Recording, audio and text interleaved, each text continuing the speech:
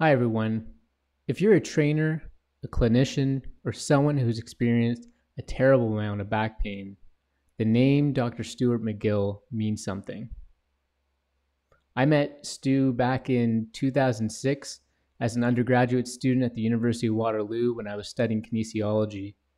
And I remember taking his class and just realizing how he just exemplified excellence and mastery of his craft. Stu commands a presence in whatever room he's in.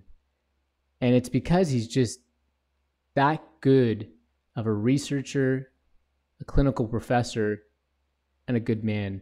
And so this conversation is for me is long overdue because I've gotten to know Stu over the years, but I really wanted to have a conversation about what makes him tick. What uh, how does he approach research problems? How does he view clinicians and trainers? What frustrates him? What makes him optimistic? And just generally understanding man. Enjoy this episode.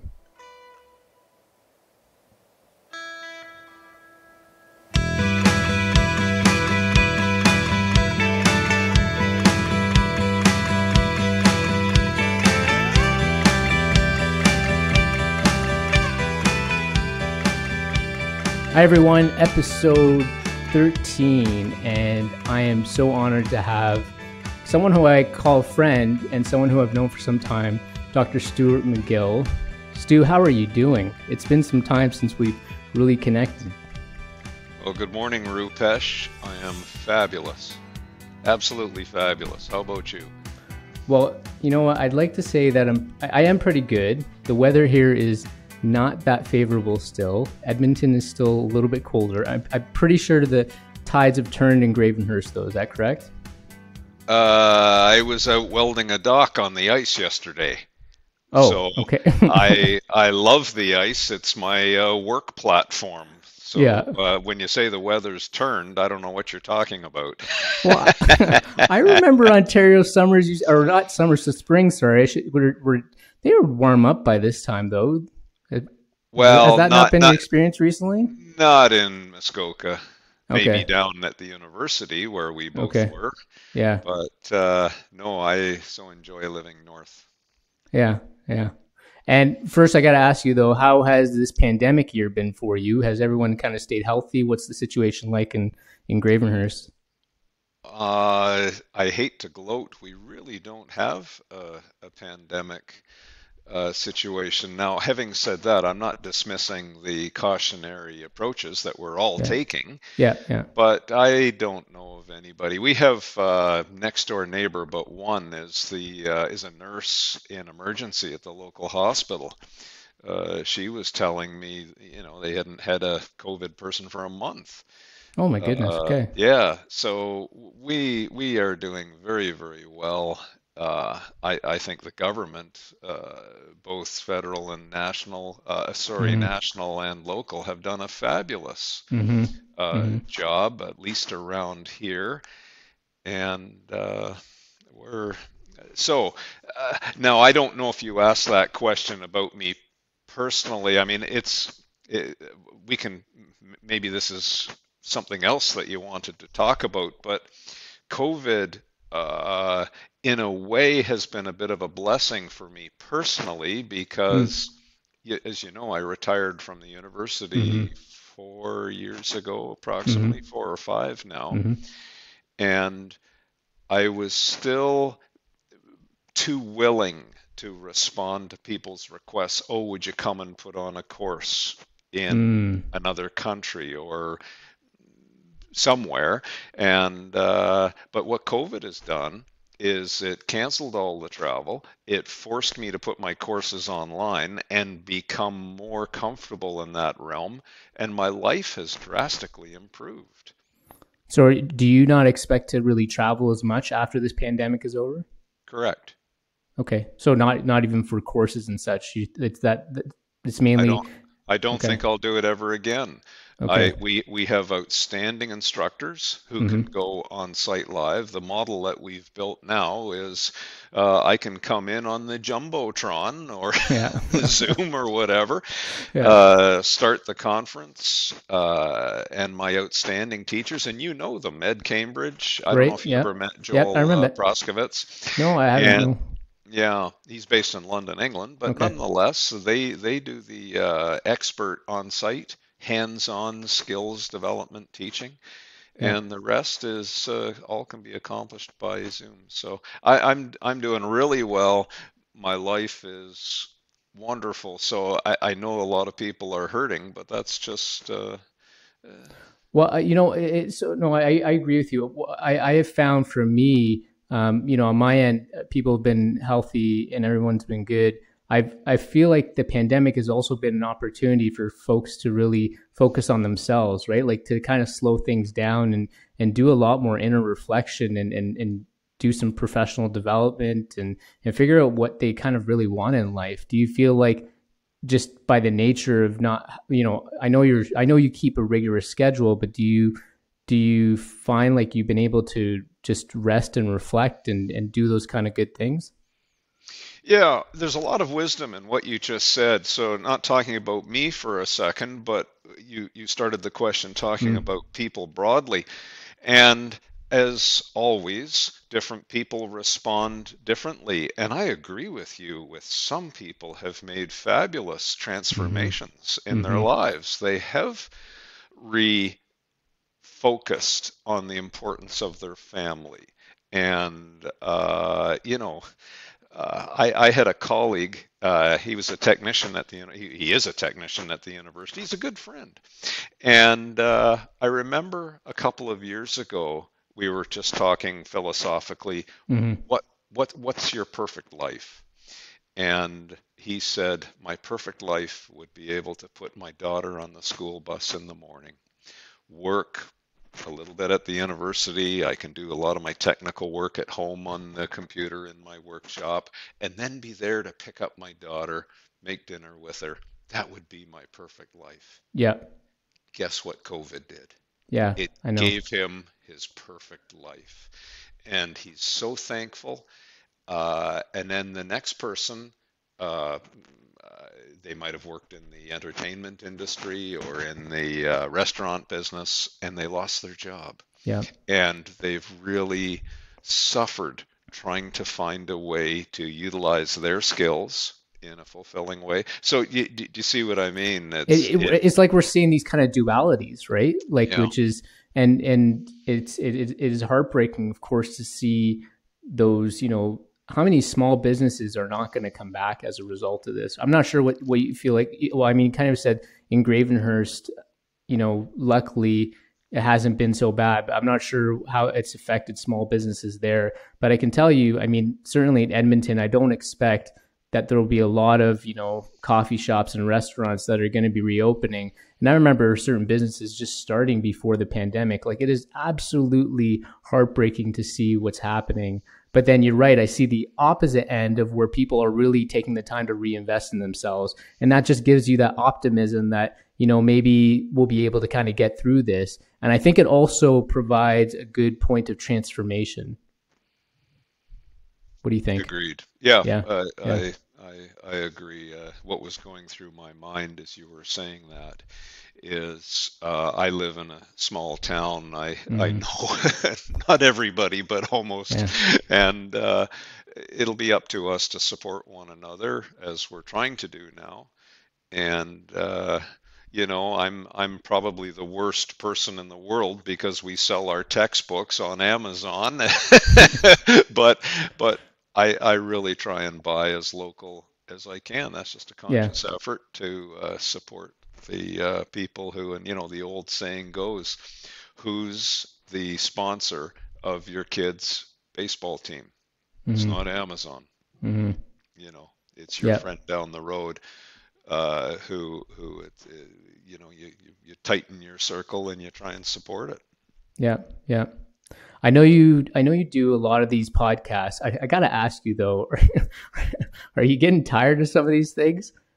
I, I YouTubed you the other probably a couple of weeks ago and trying to prepare for this conversation. I noticed that man, he's doing like almost one a week or like several a month. Like, and it's all about like, you know, I know, I know you love what you do, and it's all about the, it's all about the spine and.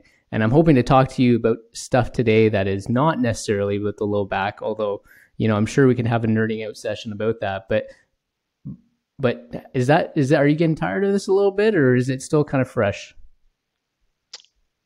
Well, here's how I'd answer that. I have an expertise in back pain and things surrounding that topic. Mm-hmm. You know, I love the puzzle of taking an athlete and figuring out what is the mechanism of their pain and their disability and reducing the causal mechanism and then building a foundation for them to regain their athleticism. And then the final joy for me is to get them back on the podium. Right. So that's what turns my crank, so to speak. Uh, I am really uncomfortable being in public now you're asking me questions that I don't have any more expertise on than anyone else. If you want to ask me a spiny thing, wonderful. I'm very confident with that. There's but there's far too many people on the internet who are giving their criticisms and their opinions on things that I don't think they're qualified to do. And now you're doing that to me, and it's the thing that I, I, uh, I, I really am discouraged by. So you, you, you're asking me. Uh, uh, anyway, let, let's see where this goes. And the writer on it is I have no more expertise than anyone else on but, some of the things know, I think you're going to ask me.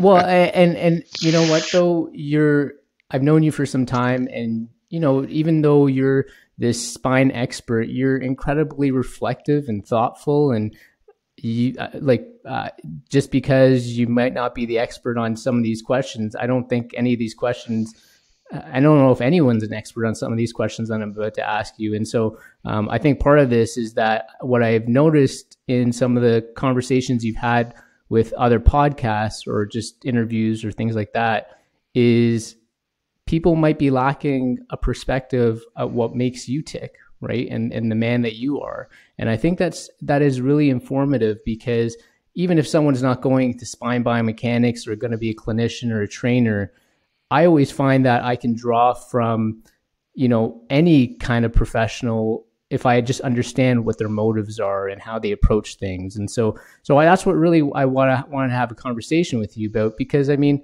when when i took your course when i first met you in 2006 Stu, and I say this very much objectively, you were by far the best lecturer that I'd ever had ever encountered, and part of that was because of your dedication and your your you exemplified this sort of excellence and mastery about what you were doing. And you and you and we're going to talk about this but you know we've you and i've kind of discussed this a little bit about this notion of not being average. And so i just think that people are going to benefit from this conversation even if they're you know, people might be surprised perhaps about like, oh, this is not a spine conversation, but I, I I'm confident that people will get something useful out of that. So I don't, I, even though this might put you in a little bit of an uncomfortable position, I think you need to give yourself a little bit more credit than you than you might not be giving yourself right now. So, well, I, again, I don't know how to respond to that, Rupesh. that's, uh, I, no, you know, it, well, maybe I'll. Uh, you you still see me as a professor, perhaps. I still, you know, I'm thinking of Rupesh back in the right. early 2000s, and we've uh, both uh, grown and gained a little bit of wisdom since that time. And and now we're I'm seeing you as a dad and a mm-hmm. and a uh, very accomplished in your job in in uh, the leadership you're you're giving in your government jobs and. Well, public you. health policy and, and everything else. I'm very proud of, of what you've uh, done. Um, I I, I guess what I'm trying to say is you looked at me back in 2006 as probably an old man with with all of this wisdom, and and and I can say this. Mm. I've, as patients, you know, we get patients from all around the world. Mm. We, we get royal family members, believe it or not, top, top athletes, uh, Mhm. multiple, you know, world champions, uh, presidents of countries. Mm. Um, I've seen prime ministers. Uh, I've seen top, top business leaders, some of the, the richest people in the world. Pain strips every single one of them down to their base humanity. Mm. And you realize that, yes, they're lucky, they're slightly odd, they have some characteristics that are very odd and extraordinary. But at the end of the day, when they're all stripped down and they're telling you about their pain, you realize just how ordinary all of us really are. Wow. And uh, I wouldn't want to be any of them, by the way. Uh, but you realize how everybody is is just hurting a little bit inside, despite the bravado and the public personas that some of these people have. Uh, would I really take some wisdoms from some of the top business leaders? I wouldn't. Not Mm. from my personal finances, I wouldn't. Uh, Mm. You know, would I do what some of the professional athletes have done when they're sitting in the chair in front of me saying, Professor or Stu or however they're at talking to me? If I'd known it was going to hurt this bad, I never would have done it. And these are the household names Right. of sport. Wow. Yeah. Uh, you know, and uh, so I, I don't know if that really gives you much perspective, but it but but it has given me some. You know, you you you maybe saw me as someone back in those days, and now we're just two men and colleagues. Well, I was going to ask you, that was going to be my last question, actually, Stu. But since you're bringing this up, I mean, uh, what has taught you? Is there something that has that you've learned about humans overall, having gone through this process? I mean, that is that is incredible for you to say that. You know, when you see these presidents and all these people that we know in society, and when they experience this pain, it just strips them down, and they're just this average person. I mean, Right. maybe that that is the answer. But is there anything else that you feel like has been that, something that you've seen with working with all these people that you've just learned about humans in general? Uh, well, just simply what I said. Yeah. Uh, people are people at the Mhm. end of the day. And I remember sitting in the back of a cab in New York City. No, Mhm. actually, no. Maybe it was St. Louis. Anyway, it doesn't matter. I was somewhere being driven in a cab. And I said to the fella, I said, Where are you from? And he said, Some country in, in North Central Africa. And I, I forget Mhm. the country. Was it Chad or something like that? Yeah. And we had a conversation about what really mattered to him. And, you know, it was what exactly mattered to me. And as you meet people around the world, we're all just trying to provide for our families. We're trying to make everyone around us a little bit better. Uh, you know, and then there are the ones who are touched by the hand of God. They can jump higher than anyone Right, else on the right, planet, or right. they can run 100 meters in nine something seconds. They've been touched by the hand of God for that one little thing. Mm-hmm. And usually there's a little bit of something else in their humanness that makes up for it. Mm-hmm. Maybe a little bit of a deficit. You know, when I look at athletes who are the most explosive athletes, Mhm. there's a neurology there. And and I'm going back to your thesis and your Mm. work Mm. when you measured people who could jump and you trained them, you did squat Mhm. training and some jumped a little higher and some reduced Right. some height off their jump. Right, You right. exposed them to the same training uh, loading, trying to create an adaptation, and you saw the difference. Some people Mm-hmm. increase it. In other words, their adaptations were different. Why? Well, they had different neurologies, they had different geometries, different. But what what's so interesting is all of those explosive athletes. So when you train them, they can jump even higher. Yeah. The profile that goes along with that is they're almost always what you would call attention deficit disorders. They're so nervous, they're ready to bounce and jump, and yet when you're coaching them, you've got 20 seconds to make your point. And then mm their brain is off in space on something else. And yet, when you work with uh, a neurology that isn't quite so explosive, they you can reason and develop logics in your coaching mm. and say we're going to do this this and this and i don't know if you've noticed it in in your coaching those differences mm. so when i say absolutely those who've been touched by the hand of god they're uh, what a, we we do a lot of pattern recognition with people yep. when we're figuring out why they have back pain and you know just with the stage of my life as soon as someone walks through the door, I'm starting to put together the patterns. When I speak to my dentist about these kinds of things, you know, she says, Yeah, as soon as that person comes through the door, I know the pattern already. I know they're going to have gum disease. I, I you know, they, they haven't had a bath. you know, it's, it's just a, it's a pattern that you're putting together. And, I was just going to say, I remember Stu when uh, back at the university, when you'd have patients kind of come into uh, into the office, they were always often surprised when they would have to walk in front of you, and you'd and you'd say, "Oh, there's a method to the madness," because you'd already you'd already start to evaluate them as soon as they entered the door. Yeah, remember, that's what that we. Yeah, we would set up what we would call the clandestine tests. I would say, "Would you mind taking your shoes yeah. off?" Yeah. And uh, I had no interest in them taking their shoes off. I wanted to see them how they right. bent and moved. Yeah. Or I would say, "Do you mind bringing your backpack over here?" Or you know, shake my hand. Uh, all every single one was an evaluation to understand their habits and to put the patterns together as to why they had back pain. So when you go back to the taxi driver and just seeing like identifying that there are these commonalities in in humanity, right? Like people generally want the same thing and then you also expose that there's these incredible individualities. Is that is that do you find that part it continues to make your work incredibly fascinating? Absolutely. Yeah. Yeah. It, it, it, you have to love people and you have to love studying them. And if if uh, you've been a student of mine as you know uh, you can't help it when you walk down the street, you see, oh, that person is ACL deficient in their mm-hmm. knee.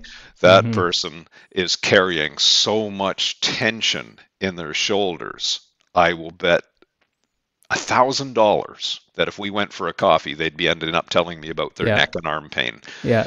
Uh, or they're crunched up. You, you know, uh, you can just lay bets on what you're going to see on their MRI. You know what you know when you look at their their CT scan, you're going to see a lot of plaque inside their aorta going down. I mean, you right. can just yeah. put together the patterns, and that's the fun of it.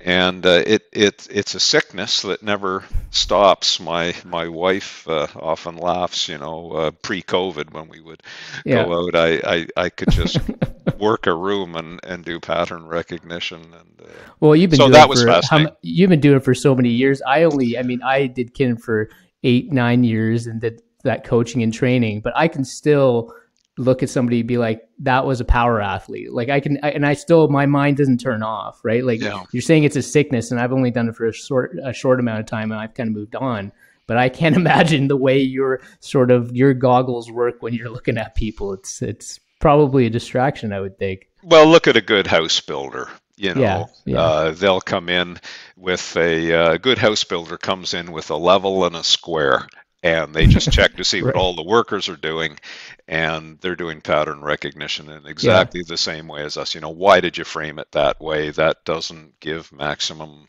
you know, whatever the objective. Uh, yeah. So everybody, that, you know, that's how I started this. I, I, I don't have expertise in in in very worldly things, so uh, I'm very comfortable talking about uh, back pain and performance and that yeah. kind of thing. Talking about these kinds of things. Uh, do you remember when we would go to the grad house and have beer oh, and peanuts? Yeah. Yep. Yeah. And that that was a thing I used to love to do with the students. Yeah. It was it was you know classroom teaching. It was all one way, yeah. and uh, uh, oh, I, I, do have a story to tell you about that, but let okay. me finish this one. Sure. But the, the, the real fun of it, you know, we would go to the grad house and have yep. beer and and peanuts or a pizza or whatever, and those were the times when we really learned. Well, you would you would always say the beer tastes sweeter at the end of the week, right? When you put in a hard uh, hard week's worth of work. I remember yeah. that. Yeah. yeah. You'd come uh, by you'd come by my office and you'd be like, so is the beer going to taste sweeter today, Rupesh? I felt like I always had to just make something up to not disappoint you or, or something. But, but, the other thing you taught me, though, I remember at the grad house was the meaning of cheers. And I still use that. I still use, because um, you would say, you would always look at somebody in the eye, right? When you do cheers. And you, you, I remember you telling us sort of, um, the reason why they used to do that. So I hope you didn't lie to me because it's like it's one of those things where like I remember my dad told me that um, that uh, brown brown chicken eggs are fertilized eggs, and I'd only realized that no, they just came from hens that were a different color, and I believed him for so many years. So I've been telling that story for many years. So I hope that you haven't been uh, leading me astray here. What did I tell you? Well, you said that you got to look back in the day in order to build trust, they had to look at each other in the eyes. And so when they do cheers, that the their drink would slip into the other person's drink, and so they had to verify that so that you know you wouldn't poison the other person. That, that's what I remember. But is there a twist to that? Yeah, the, no. There's a few variants of that, and, okay. and ceremonies of drink and poisoning uh, back in the uh, dark ages, I suppose. Yeah. Um, but there's there's several other uh, myths that I've heard that go along with that. So yeah, no, I I I'm I'm happy with that one. Okay. what was uh what was the story you're gonna tell me? You said something uh, about uh, back in uh, back in uh, class or something like that.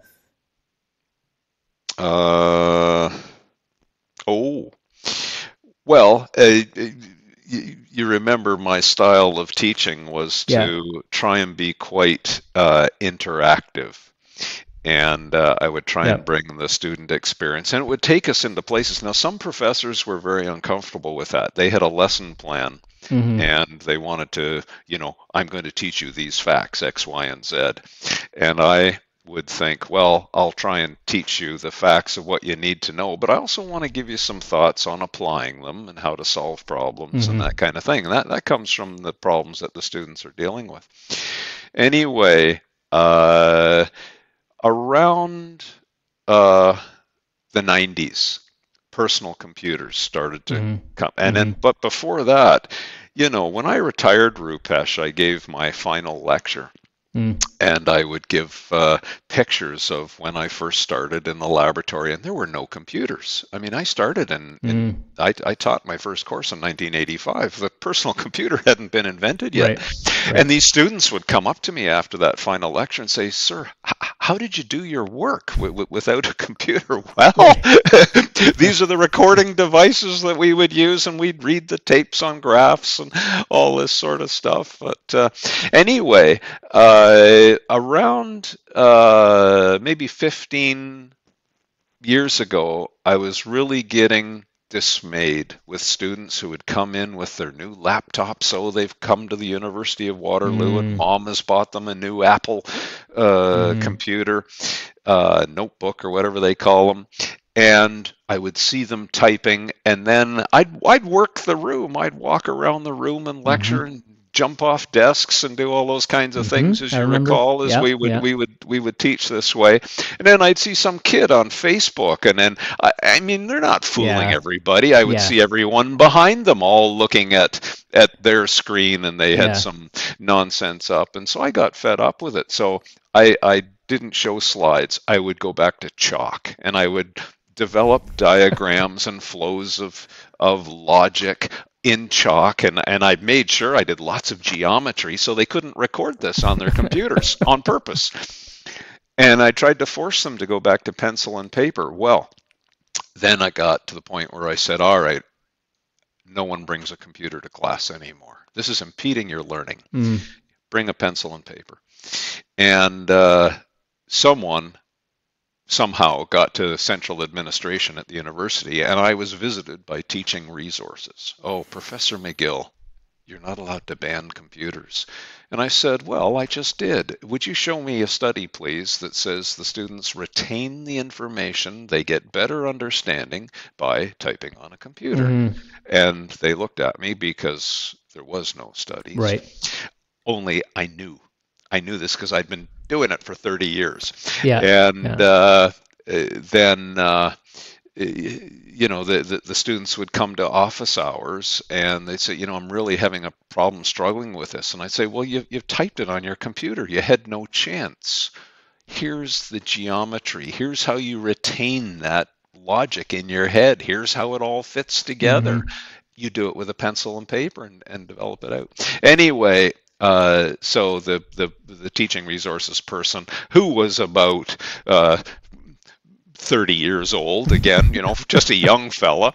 And uh, he said, well, you just can't ban them. And then he, he left my office quite uh, frustrated. That, well, you know, I still didn't let any computers in my room. But anyway, uh, you know, I got a uh, an alumni magazine from the university that reports recent research right. results uh, two or three years ago. Do you know what the headlines on the cover was? University of Waterloo study shows that students learn better with pencil and paper and no computers. And I thought, oh, did we really need to do that study? But anyway. oh, totally. Yeah. I, I, I mean, I, I, I do remember, I do remember you saying during class that, um, that if p- folks were taking notes to just stop taking the notes and just listen to you. And I remember personally going through that, having a difficult experience um, because you're just so used to wanting to memorize and understand and, and understand in real time. But I really, re- I recognize that I wasn't doing that. So I remember being challenged by you. I don't know if it was the first time, but definitely um, being challenged by you to to just put things away, listen to what you're saying, and then there will always be time to kind of do that reflection. And then the other piece that I loved about that class was the the workshops that we would do, because I remember that you would challenge folks, you would challenge students to be really hands on. And if folks weren't being hands on with like cueing on how to do, you know, certain movement patterns or how to assess um, their partners, you know, you were you were on them for that. And and I I do want to spend some time on talking about sort of clinicians and trainers overall a little bit later. But um, it was it was it was a fantastic course. That that that's that's that's a great story. Um, in terms of the and, and, and, recognizing the research afterwards. What do you what do you miss about being a prof and a researcher? I mean, you're still obviously the research mind. I can't imagine would just shut off, of course, but just generally, like as a professor and being a clinical researcher, what's something that you miss about that? Uh, this is going to surprise you, Rupesh. At this stage of my life, my answer is nothing. I don't miss anything. And really, why? Yeah, really. And why okay. I'm going to say that is I left for a reason. My health was declining, mm. caused by the digital age. So when mm. I started as a professor, I would teach with chalk on a blackboard, mm-hmm. and we would have all the student interactions and then end of term i would take the whole class to the pub as, as you would remember mm-hmm. and we would have a little bit of party to, to celebrate the end and we would have wonderful discussions and it was always student pods where we would go and have a, a beer or a sandwich or something after class and those kinds of things i do I did enjoy at the time. I wouldn't enjoy doing it now. Mm. But my my my point in all of that is slowly computers took over. The mm. university was encouraging online learning, and I thought, well, online learning, that, that's not for me. Uh, I don't think it's for the students. Mm-hmm. Uh, and uh, then uh, office hours. Students didn't really want to come to office hours anymore. Oh, sir, can I email you? No, you can't email me. you you get in here and we'll figure out what your real problems are. I can do pattern recognition, looking right. at you, and figure right. out and and really get to solve the issue. And uh, when I started, we would handwrite our correspondence not anymore. It was sitting at mm-hmm. the computer doing mm-hmm. email every day. And then I would, as you know, I, I ran the department for a number of yep. years. I was yep. department chair, and I would see the young professors come into work. What was the first thing they did? They sat in front of their computer and then they got into email hell. They would answer an email, Mhm. and why they were answering that one, another one came in, Yep. and then they looked up and it was lunchtime, and all they did was answer email all Oh day. God. And so I would I would ban them. I would say, "Don't you dare start that computer till after lunch." So Hmm. now at least you've guaranteed a dedicated morning to the things that matter. What is Mhm. the biggest thing you had to get done today? Go get it done. What's the second biggest thing? Good. Now, when two o'clock rolls around, you can answer your email. You want to be a successful professor or successful in life? Do that. Anyway, uh, And so did your mind did your mind work better in the morning? Would you say? Like was oh, a certain time absolutely, that- yeah, Okay. yeah, for okay. sure. Yeah. But anyway, my my point in all of this is I was becoming a sitter rather than a Mm. person who would be active through my uh, through through my daily job. The professor's job became one that sat in front of a computer. I hated it. I was aching. My shoulders, my back, my hips. I, I was just so fed up of it. And so I said, uh, I, I'm, I'm really done with it. So- So, so- when, so when physi- if I can just finish that yeah, off, that's yeah, why I said I don't miss any of it. Yeah. yeah. Rupesh, I have a, a, a work routine now. It's a work play. It's a seven day a week cycle. I have zero pain. I'm in my mid 60s. If you told Awesome. me when I was in my 40s that I'd be in my mid 60s with no pain, I, I thought you'd be lying. I feel fabulous. I'm in the best shape I've been in for years. Everything is wonderful. So do I miss it? Sorry, but no. how, how can anyone judge or even criticize that by any means um, you know the thing that the thing that i've noticed with people who um, with some people that i know and, and, and kind of hear from afar when they're retiring especially if they've dedicated so much of their life to you know a certain set of issues or a cause or whatever is that it almost like it becomes a part of their identity right and so, have you ever? I, uh, certainly, you have BackFit Pro and the work that you're, you're you're still you're still in that space. But do you feel that um, you've had to sort of redefine yourself, or you've had to like, did you lose a little bit of that identity in any way? Because I know that that is a real struggle for people. I remember my my family doctor when I was a kid. He tried to retire three times and he just couldn't because he kept coming back to it. It was really a part of himself. Um, but I just wanted your thoughts on that. Uh, that that's such an interesting question. You use the word identity. Have I thought about it? To be honest, or n- not honest, that's the wrong word. To be frank, I've never thought about it. Hmm. Rupesh, I wake up every morning and I my brain is like I'm 16. I I'm not that sophisticated. I think like I'm 16 and then I go and look in the mirror and brush my teeth or do you know what, whatever I do and then I look and I say who in hell is that old man? And then my brain starts to think okay well you're not 16 you're a little slower now. So in other words that's my identity. I don't have one. I've I've never Mm. thought I've, I've never you know you you know the type who who they play the professor Mhm, or mhm, they play the the the lawyer or they play what mhm. I'm just a kid who gets up in the morning, goes to work, enjoys it, tries to be fair with people. I'm as you know, I'm I'm not. I can be very very moody, which I get very mad at myself for, but you know, I keep trying to every day improve my soul a, a little bit, but I don't have an, an identity. Hmm. I'm I'm just a you, you know my perfect day now is you know i, I have a, a cottage and and uh, a few years ago i bought an, a little island property with my wife out in georgian bay uh, we built a cabin on it last year my favorite day is uh, I, I i just drive an old work truck like everyone every other family member in in Yeah. You know around here. Uh, you know my brothers-in-law and whatnot. I, I just drive an old work truck. I put on my boots in the morning. I make my lunch the night before. I pack my tools into the truck and i go out and do my thing. I don't have an identity. I'm just you know There's so much to- humility in what you just said, Stu, because I think that I think people do get um, caught up and have a hard time letting go or, or see themselves differently um, because of um, the work that they've been doing. So the fact that you just kind of normalize yourself and you don't see anything more than what you see in the mirror every morning, I think it's that's a, that's an incredible amount of wisdom that you're sharing.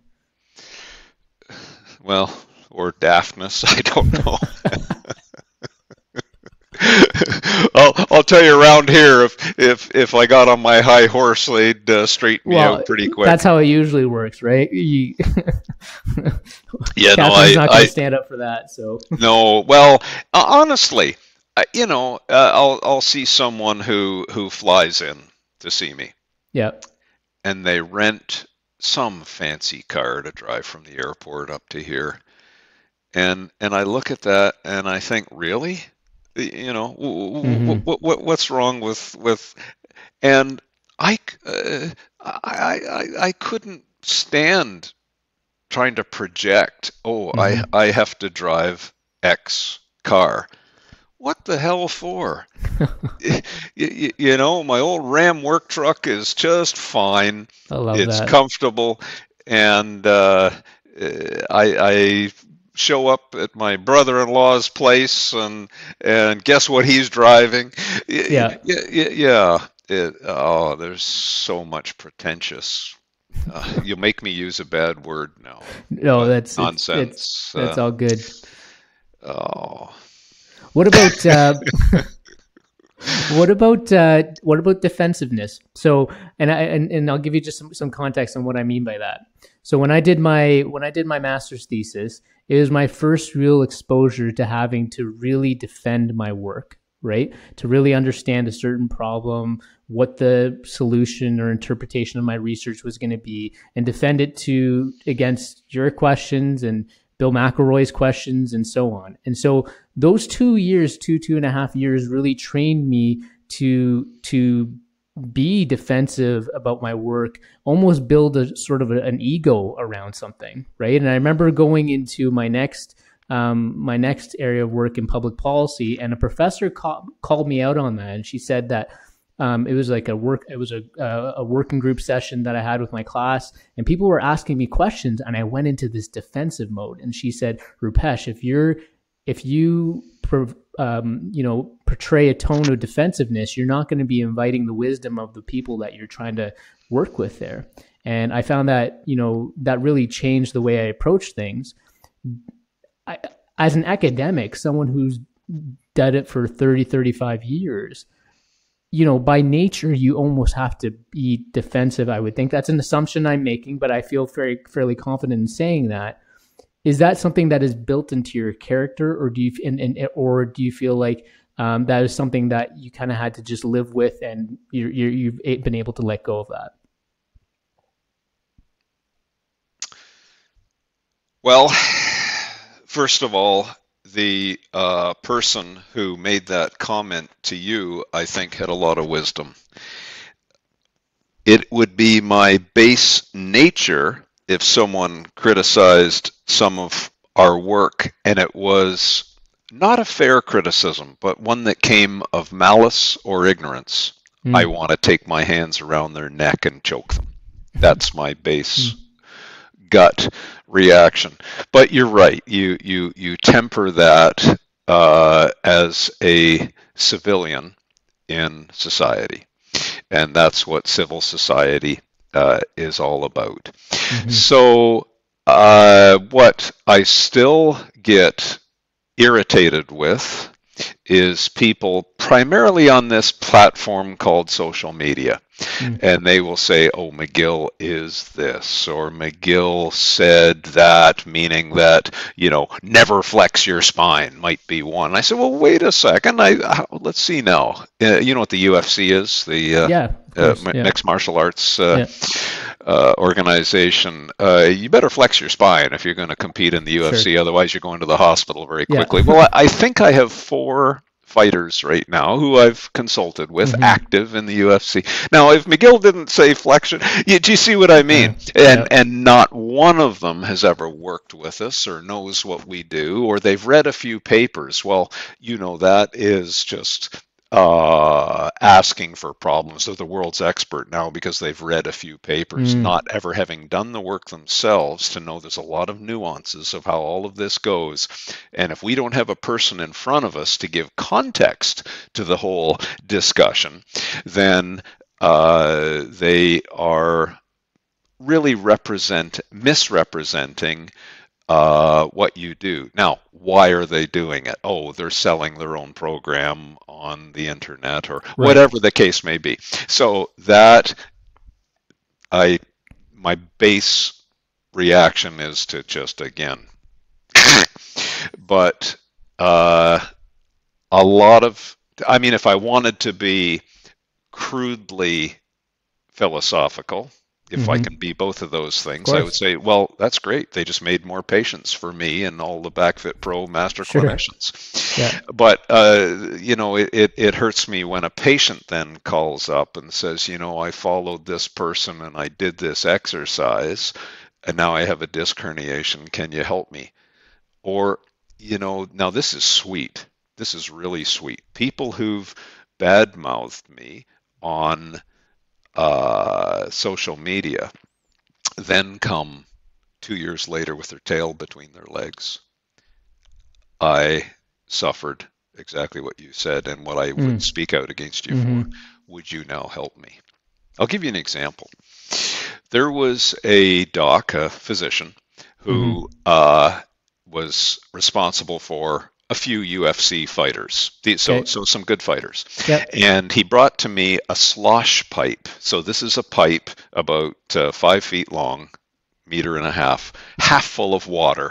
And he said, "Would you uh, endorse this with me? Because I want to make a company and sell it." And you would rack this slosh pipe on your shoulders, and you'd twist back and forth quickly, boom, boom, boom, boom. Okay. And he says this creates rotational power to really get. Right.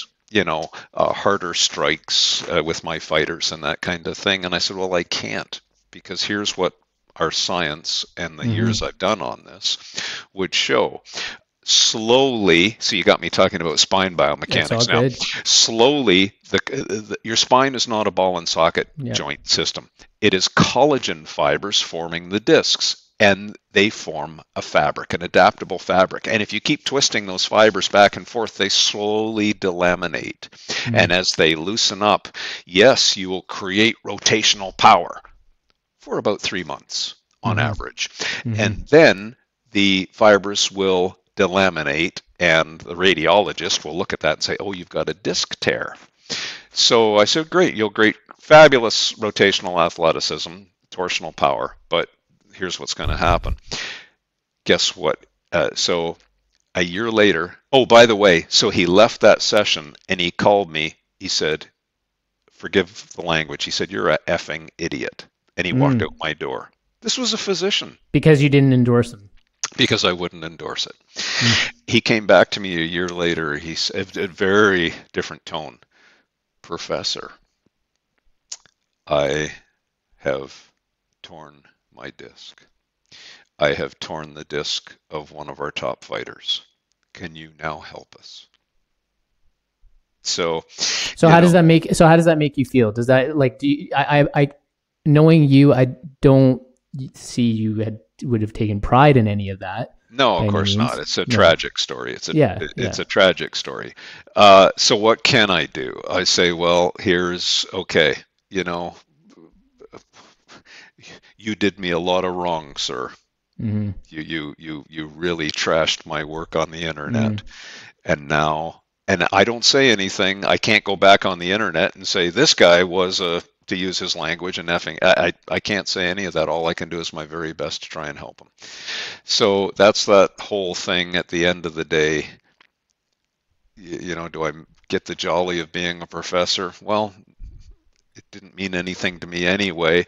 Do I get the chance to improve my soul so I can sleep a little bit better myself Mm. and say that's all I can really do? I can't get into these wars on the internet. Um, and eh, I mean, you know, I'm a pretty flawed person as well, so I can sit on my high horse and say these kinds of things. But that would be how I would have, uh, yeah. how that story went. And uh, Do you think that you, you talked about social media and just this environment that's being created where people can just easily criticize things. But there's also this other environment that's also happening where, and I'm sure, I, I suspect social media has a con- contribution to this, but is this attack on science that we're we have been seeing for a number of years, and I and, and so you, I guess you kind of answered my question. I was going to say, do you feel like your research has been immune from from this increasingly in, this increasingly attack on science? Well, no, of course it hasn't. Yeah, and it it it's attacked by people who are not the Rupeshes of the world who came and did the work. They are people who have read a few papers and they know just enough to sound somewhat as though they know what they're talking about, but they never mm-hmm. did the mm-hmm. work. And uh, I mean, every critic that we have, not one of them has done the work themselves, uh, which I think is telling. However, social media, because they're marketers, yes, and and slick, they can get away with it. Whereas yeah. prior to social media, I think people would have vetted them perhaps uh, may, maybe not uh, actually now i think i'm i think back to some of the quotes of barnum uh, pt barnum who said you know there's a sucker born every minute or or mm. something mm. and his job was to hoodwink the public okay and uh, may, maybe that hasn't changed it's just yeah. done a different way it's almost and, and now this is where i want to get into this sort of um, this average way of thinking because i do feel like people are shortcutting things just to to market themselves and to to make a quick buck and to be recognized. And the thing that and if I if I may just sort of tell folks a little uh, a story um, that has always stuck with me, and, and, you and I have already talked about this before, is that um, in one of in one of your classes, I remember you were you were talking about your work with certain athletes and certain uh, certain patients, and just for people who are listening to this, Stu really only sees the the the like the worst backs or the the athletes who want to you know reach that high level of performance. It's never it's not sort of in the middle. And so I remember Stu, you were talking about um, your approach and how you would how you would assess these people and train them and then you just said something like why be average? Like why be, why take an average approach? Why be average? And i remember writing that down in my notebook circling it a number of times. I have that sticky note on my laptop for work because it's always a reminder that i like to, to just cue myself. And so but why for you like when you started your research did you always have that mentality like that it was like you're trying to like just i don't know master something or just or just not be average in your approach? Like where did that come from somewhere or was that sort of something that developed over time? Uh, yeah. My answer to that, Rupesh, is first of all, I don't ever remember saying that, but I get emails from students, you know, fairly regular. Oh, uh, sir, you, you said this, and it really helped me yeah. with my life. And of course, I don't remember saying any of this, but anyway, um, why be average? Uh, let me see if I can create a, a, a, a reasonable logic uh, on this.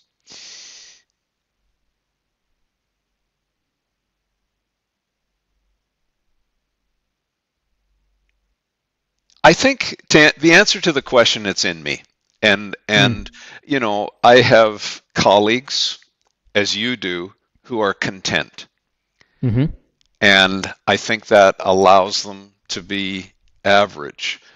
To be content I, I, it, it doesn't fulfill anything.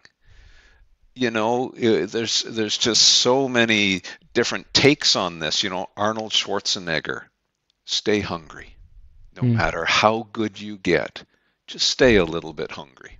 Mm-hmm. And there's a lot of wisdom in that, in mm-hmm. terms of satisfaction and joy in life. Um, why why why be average? It means that you don't go out and do something because you're you're content and satisfied.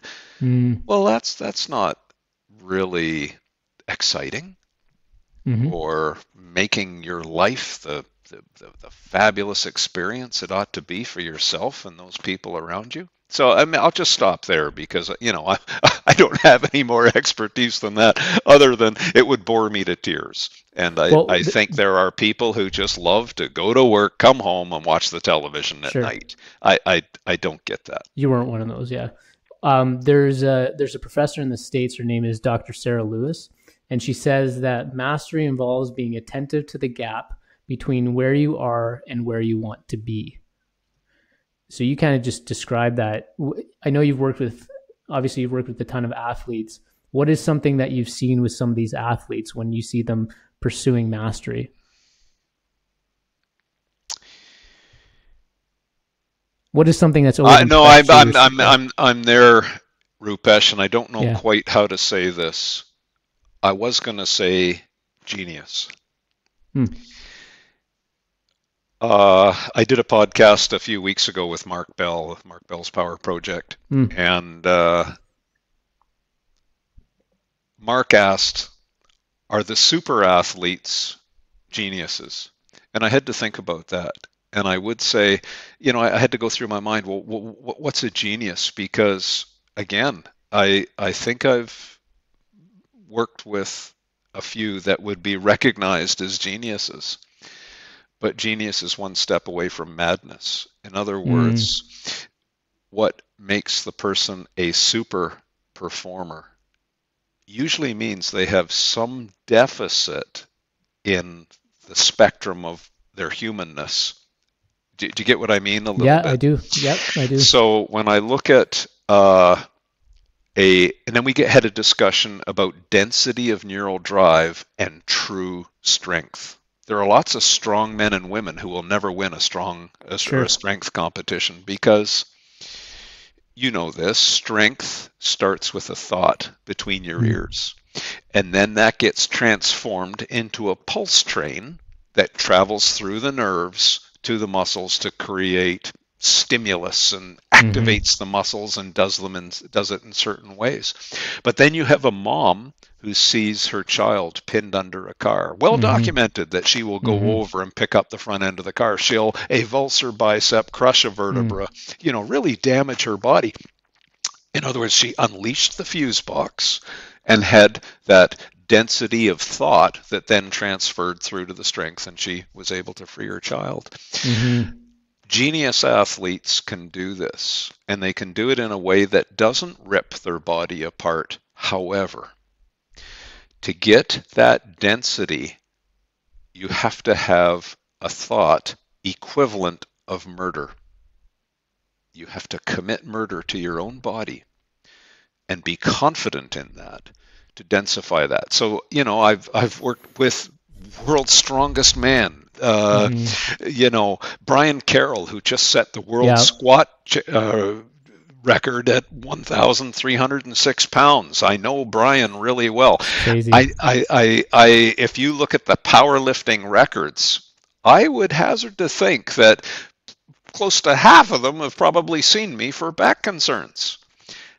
I'm doing pattern recognition every single one of those athletes has a personality where there's a very, very dark place. They go to that dark place. And, you know, I, I had a really interesting conversation with Blaine Sumner uh, just last week. Uh, Blaine, I've known for years. Now, Blaine said, it's okay, you can talk uh, to the public. As, as you know, I've got to sign confidentiality yeah, yeah, yeah, agreements. Course. I, I, I can't talk about individuals mm-hmm. in in in the public. But Blaine, but anyway, uh, Blaine would say, you know, this is so true. This whole idea of going, every one of those strength athletes has a very dark place that most people don't have, and that's why mm. they will never win at strength. You've got to go there. And Blaine would say, Yeah, I'd go to another country. Oh, just to say, mention who Blaine is. He holds the world's record in Wilks score. That's the highest combination of bench press, squat, and deadlift normalized okay. to body weight. Now, Blaine weighs over 300 pounds. I mean, he's okay. yeah. he's up there. right. Right. But, uh, you know, he's a fabulous, kind man. You won't find a gentler giant. They are all gentle giants.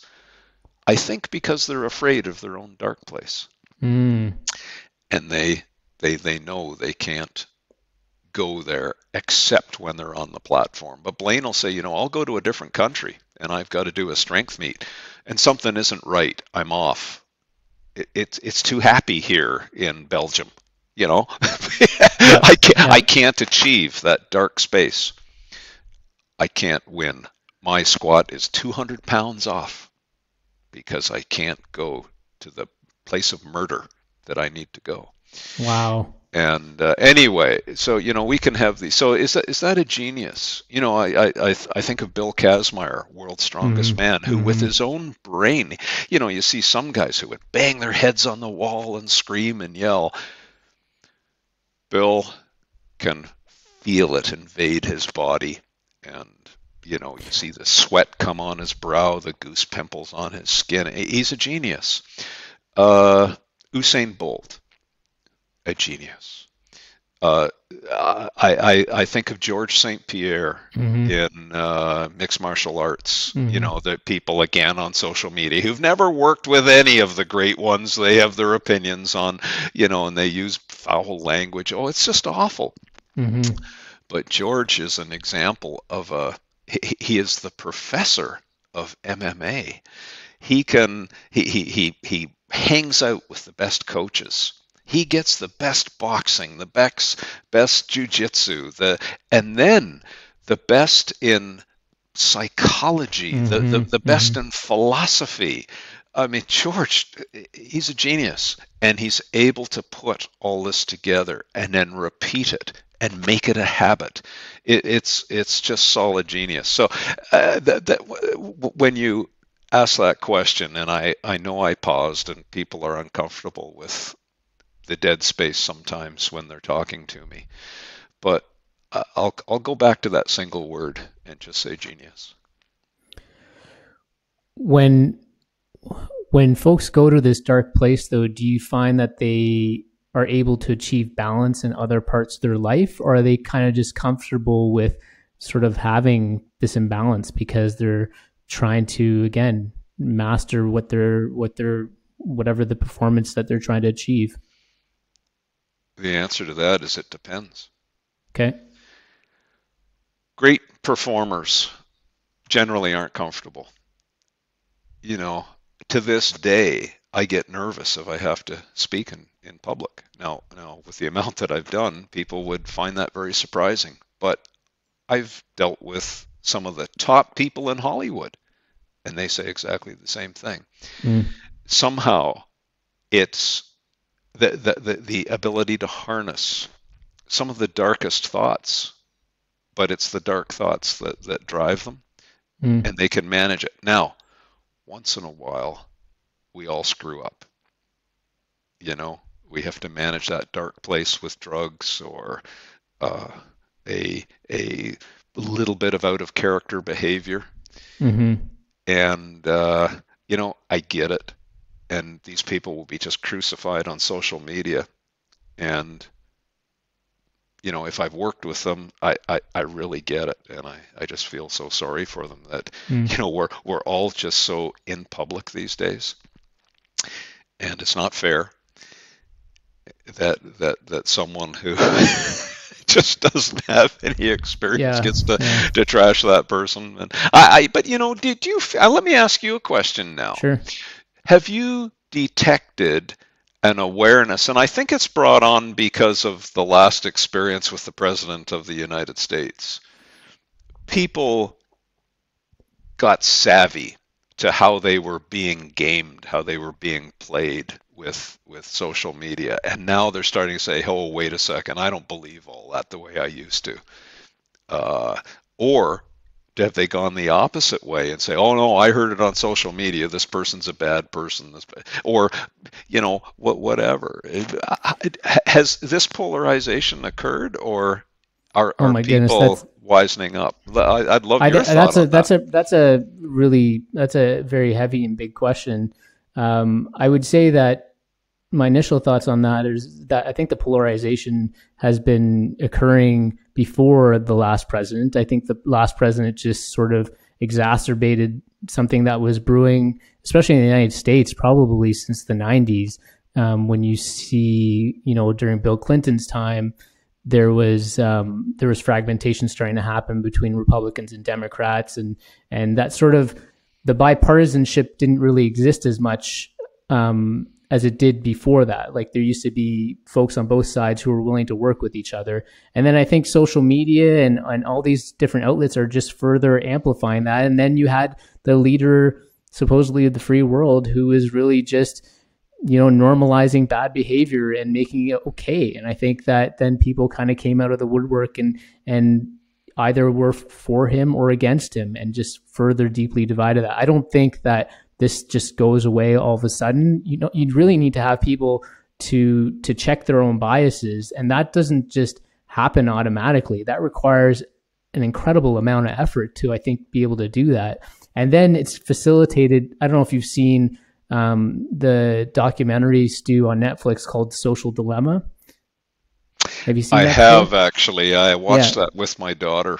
Yeah. yeah, yeah, and so that that's that's a really I think a really good way of showing how no matter what you're trying to do, even to challenge your bias, social media is just working against you because of all these algorithms that are just continuously feeding a certain perspective. So I think it requires people to maybe experience you know, you hear about uh, some of these folks who are into these conspiracy theories, and then you realize it doesn't pan out. Something sort of almost um, like a major event, I think, almost needs to happen to rattle people out of where they are to move and accept a different perspective. So I can't imagine the polarization just stops all of a sudden. I think it requires a real conscious effort amongst individuals, but also society to really, to really, to really get through it. So that'd just be my initial take on that, though. Yeah, no, I I, I agree, hundred yeah. percent. Yeah. Um, you talked about this dark place, and I kind of want to shift a little bit um, to. I remember hearing a story that you'd said in a couple other podcasts, and I, I, did, I didn't know about it, but it didn't surprise me. Where you said that somebody had come to you, and they said that the pain, the, the all these clinicians had said that the pain was in their head, right, and then that they said that if they if the pain is in their head, they don't want to be crazy. And so, Dr. McGill, you got a week before I kill myself. When you hear these kind of stories, I had another one last week. Okay, right. And so this is the, this is sort of the, I mean, this is just an example to anyone who is learning about Stu right now, the kind of patients he deals with. Does you know? There's probably I want to talk about the things that certainly make you optimistic about clinicians and trainers but what continues to frustrate you about clinicians and trainers? Well, uh, let me just back up. When uh, you, you said the uh, patient had been told the pain is in their head, I don't know if the clinicians specifically used those words, okay. but the the patient left with this idea. Mm. You know, they may have been told, "Well, you're magnifying your pain." It it's not really that bad. And so they took away from it. Oh it's in my head they didn't give me concrete physical things that I can do to change my pain, or right. they did give me physical things, but they only hurt me even more. And so they they left the the the session with the impression that it's in their head, and now they they they rationalize that by saying, well, shoot, it's in my head. I'm crazy. I don't deserve to live. So I I don't you know how we talk to patients sometimes.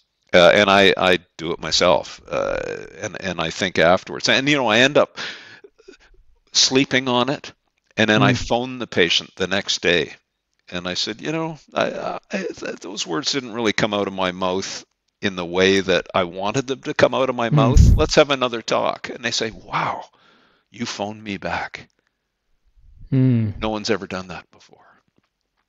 And uh, I said, well, I had to because I'm a slow thinker. I had to sleep on that one. Mm. And, uh, you know, I, I I'm starting to get your a little bit. I'm starting to get that you know you've got pressures, man. You got to feed your kids, right? Uh, or uh, you know you you've got pressures. You live in a place where you can't go out and go for a walk at night. It, mm-hmm. It's it's it's a rough neighborhood. I get it. Mm-hmm. So we got to figure out something else here. Let let's let's uh, or you know whatever it is, or I'll think you know what. I'm going to suggest you go and see X. That person will will give you a, a, little bit of a thought on on this. So I, I might give a referral or what. Anyway, mm-hmm. I, I, just want to point out that yeah, yeah, yeah. Sometimes even in a session, I'll I'll do the best that I can in that time, but then I think about it at night, and it just the hamster gets on the wheel. And I wake up mm. the next morning a wiser person, and I phone them. anyway, going back to what was it now? What what what what frustrates me, or is what's good? Yeah, about... what continue what continues to frustrate you about um, clinicians and okay. trainers, especially when it comes to the low back, I guess maybe right. just generally their approach or right.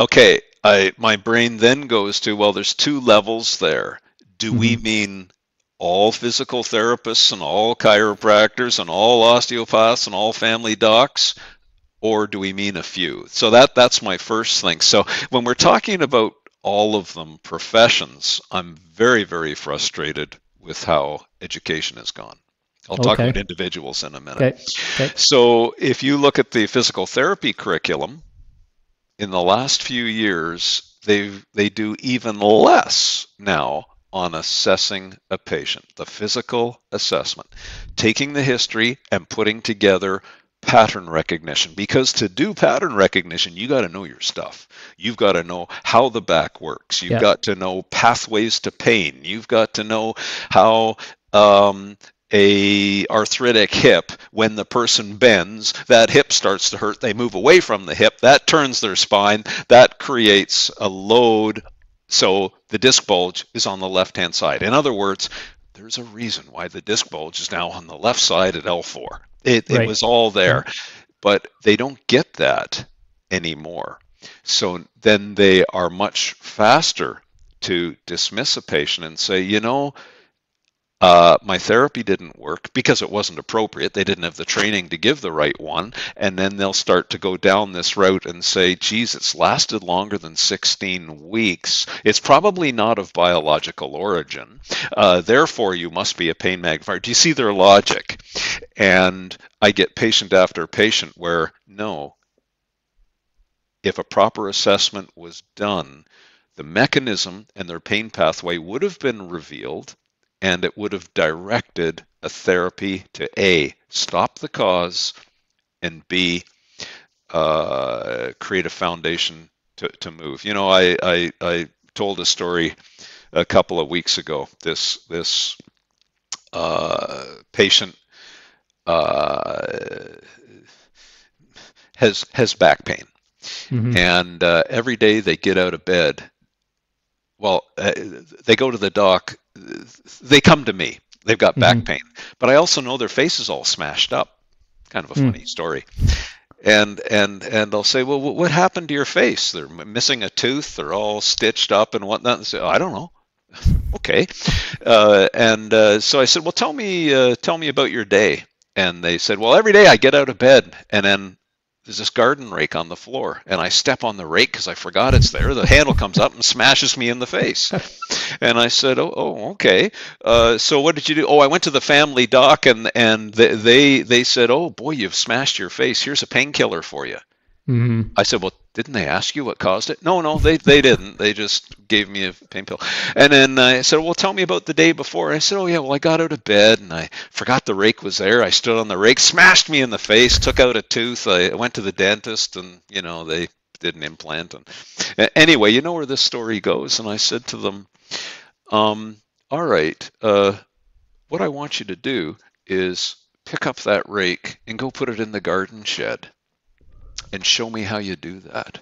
So they bend down and pick up the garden rake and they go, oh, yeah, there's my back pain. I mean, it's comical, and oh, uh, so you know, after after a week, they, will tell you, you know what, my my face pain, uh, my non-specific face pain has gone away, and my non-specific back pain has has gone away too.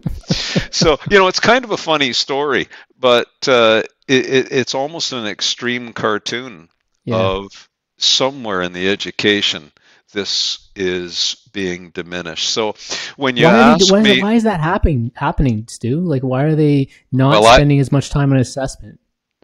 I have a theory. Okay. I don't know if it's right or not, but you know, I've been around getting close to 40 years now. Yeah. Dealing with these clinical issues, and if I take the physical therapy as a profession, not as individuals, because there are some fabulous physical therapists. So mm-hmm. I, I, I'm only talking at the professional level now. There's a culture in physical therapy where they're very reluctant to listen to a someone who's contributed to the issues who are not physical therapists. They mm. want something to be their own ah, this is a physical therapy, you know. So when I first started, it was all about the pelvic tilt. If someone has a back pain, do the pelvic tilt, do Williams's flexion exercises. And then after that, uh, oh, Robin McKenzie was anointed the next mm guru. And then they mm forgot about Williams. Well, wait a second. Williams worked for, it really helped some people. But then, uh, you know, uh, exclusively, they, they some became McKenzie practitioners, and I thought, mm-hmm. well, wait, wait a mm-hmm. second, it, it's fabulous for some people, but it makes some people worse. Let's explore. So, as you know, in the laboratory, we we really investigated a lot of McKenzie techniques and found out why a uh, prone press up uh, an extension posture will resolve some discs and it makes mm-hmm. other discs worse. Mm-hmm. And it depends mm-hmm. on uh, if they're plump and how much residual height is left and the shape of the disc and the size of the spine. All of these things really mattered. And then uh, the movement from Australia came from physical therapy. Oh, mm.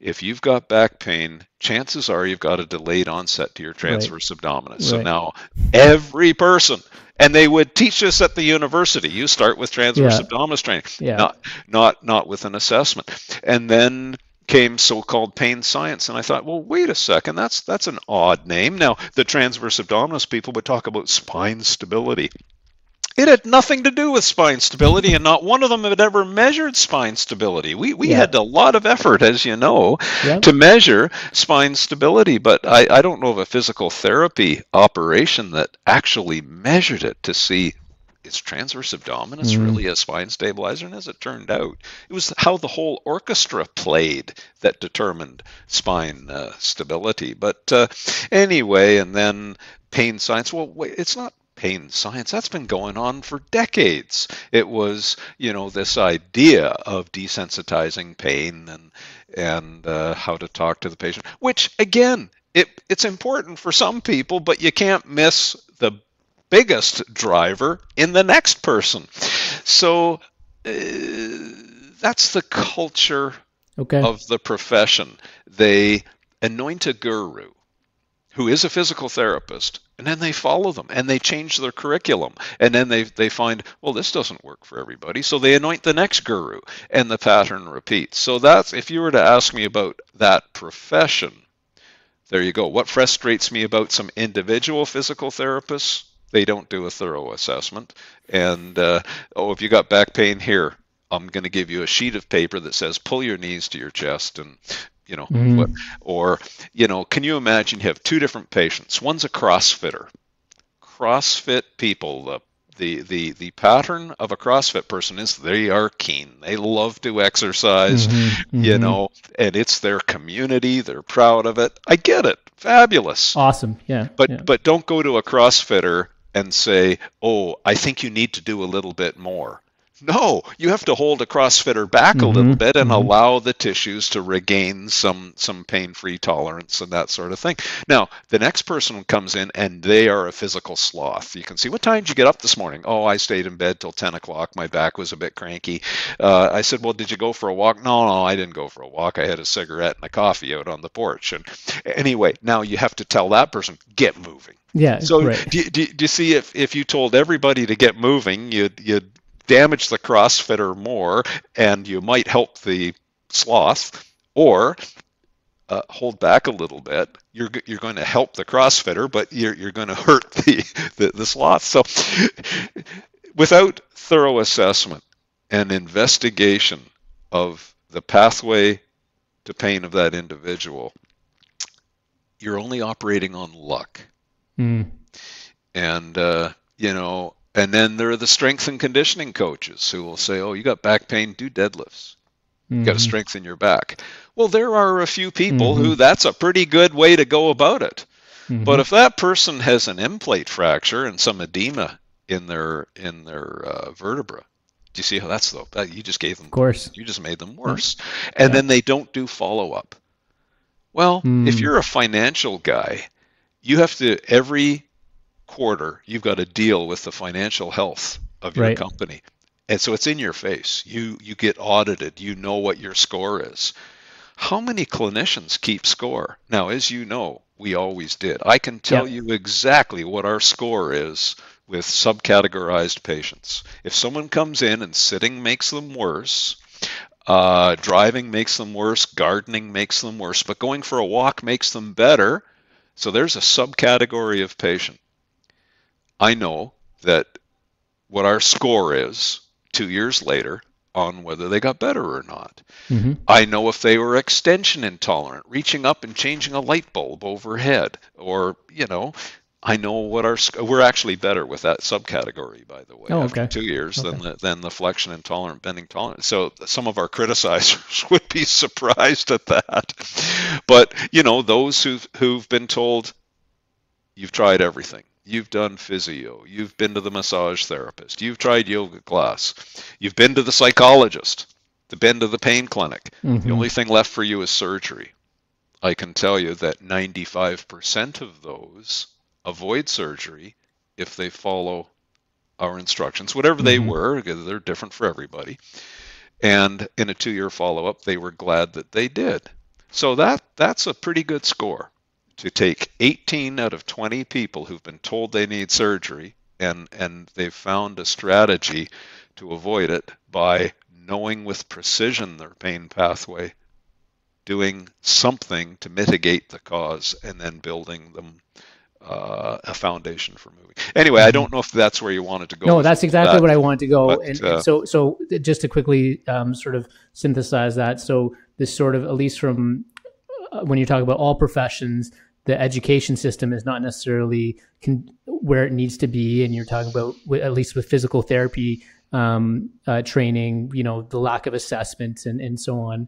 And then on the individual level, the sort of not only not knowing how to do those assessments properly, but then the follow up is is is not as as good as it, as it should be. Can I, I can I add? Okay, and may, I- may I also just say though there are Sure. some individual physical therapists who are fabulous, but Right. every single one of those has had to invest in themselves. So you were talking earlier about investing in yourself and what every Mhm. single one of those great therapists have invested in themselves to get education outside of the formal physical therapy training. Mhm. And uh, as I said, some of them, uh, we, we've got many in our organization who are master clinicians, Yeah. and I refer patients to them with great confidence. They are fabulous clinicians. I just can I just add two things, and I want to see if, if you maybe generally agree with it. We talked a little bit. You always, I always know that you, if someone says, "Hey, what's your take on this particular case?" or whatever, you always say it depends, right? Um, or that's one of the things that you that usually comes out of your mouth. Or, and I would say many good trainers or clinicians will also take that approach.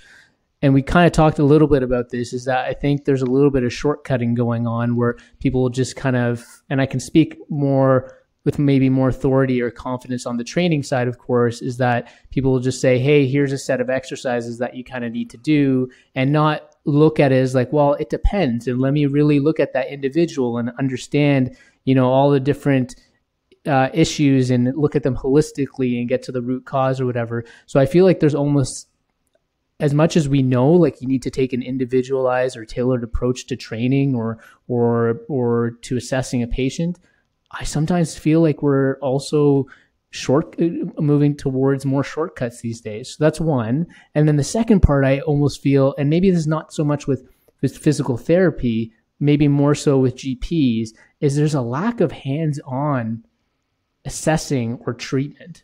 And i'll give you a, a personal example. So four or five years ago um, walking to work and my and my upper thoracic spine or mid thoracic spine just kind of seized up. And i didn't really know what it was. It was the first time that kind of happened. Went to went to the gp he didn't even touch my back or anything like that. And and and he just said take some Tylenol or whatever obviously i knew that there was something more than that and so i went to a chiro that i, I trusted And he said, "Well, Rupesh, you're you're you know did his assessment very good, sort of has that clinical eye, and said that." your rib is subluxed, you know, and, and, it's not rotating and, and kind of really talking about the mechanism of, of, of, of my pain and was able to adjust it and, and everything just kind of relaxed itself and I was able to move forward. But I, and I've heard this story many times from colleagues and friends where, where their therapists or, or GPs don't even put their hands on them. Do you think that that is something that's an issue? Well, of course.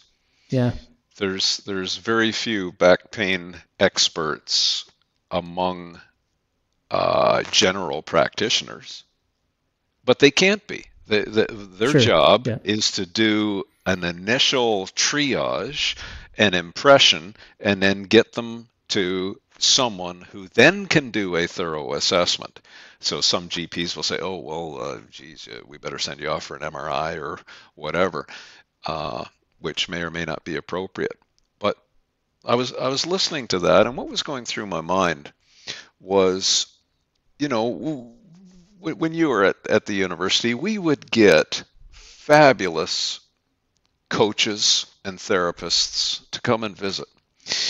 And I think of every single one of them did an assessment, had a lot of tools in their toolbox, and every single one of them answered the question of anything to do with a human with it depends.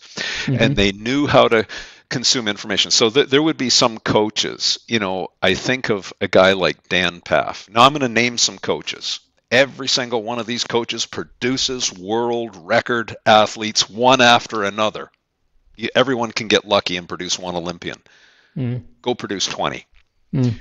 And now take them from a place of injury and pain. Either they you're a knee expert or you're a, you're a, a back pain expert.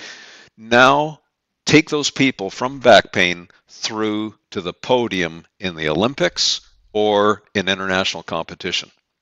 We've done this a few hundred times. You know, uh, uh yeah. I'll, I'll hold that record up against all of these people on social media who say that. But in every single case, you know, let, let's look at Olympic sprints. What coach in the world has produced more world class sprinters? And I would say Dan Pfaff from Arizona. Mm, okay. You know, I would go and consult with an Olympic program, several in Europe, in the states it's all fractured the olympic training program in the states is really in the universities. Mm-hmm. different university programs. And I, they'd call me in and say you know we're getting a back problem. Could you come in? And and uh, i'd i'd work workshop with them a bit.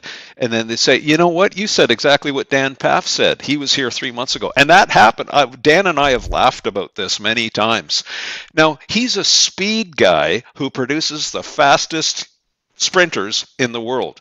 Mm-hmm. He values core stability, hip mobility, relaxation, pulse strength cycling, the psychological ability to produce that relaxation and quick pulses. Uh, I mean, Dan, but Dan, he can he can see the pattern from a mile mm-hmm. away, and mm-hmm. you know, mm-hmm. I, Dan started out as a high school physics teacher but mm. then became a master of the craft by studying all of these uh, pertinent right. uh, areas. But it's the same thing. It's strategic tuning of the body. He knows when to use a little bit. You know, I, I think of a. We had a, a double Olympian. I think th- this person was around when when you were uh, there, and we did what we could to get rid of their back pain.